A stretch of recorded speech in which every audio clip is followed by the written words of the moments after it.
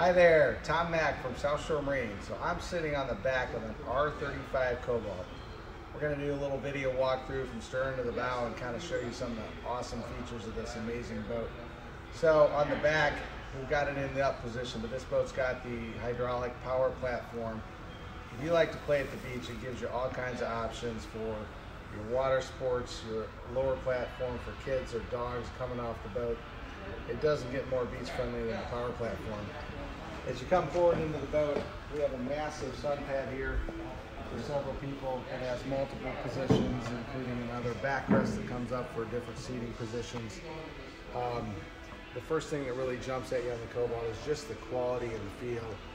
Amazing hardware, beautiful fit and finish work. The upholstery just is breathtaking throughout the boat. So when you come inside here, it's just at 35 feet, such an open field. You've got a very social setting here with a long lounge port, jump seat over here. So one of the neat features here is an amazing looking hardtop. We've got all bright mirror finish stainless steel.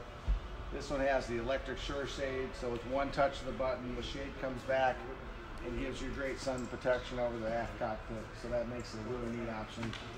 Got a great little entertainment area here.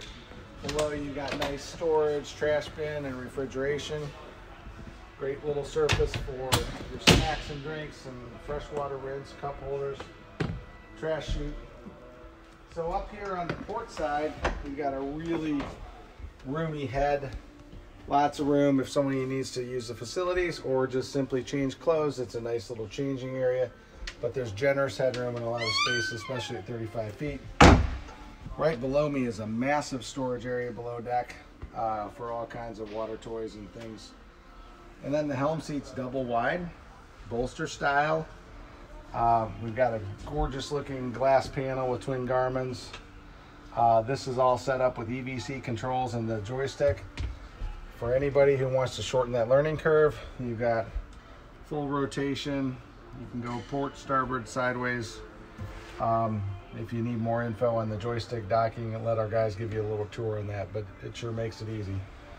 And then a very inviting, rich cabin, um, ultra leather below with the teak and holly flooring, solid wood surfaces, flat screen TV, and air conditioning.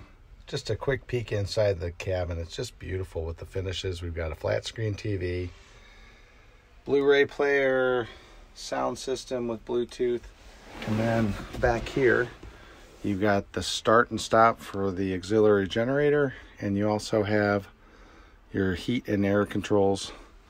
They came up with this amazing little hiding spot here for your AC switches behind the sofa. So, very cool setup below. You've got Cobalt's legendary windshield with the stainless uh, trim rings. Then as we come forward in the boat, a really nice bow lounge area here. It is asymmetrical because of the cabin, but you've got room for three or four guests up front with fold out areas and armrests built in. So anchor chute's really clean, windlass below for a real clean look and ease of operation. So again, thanks for looking at uh, Cobalt and South Shore Marine. We'd love to show you the 35 and we hope to see you here.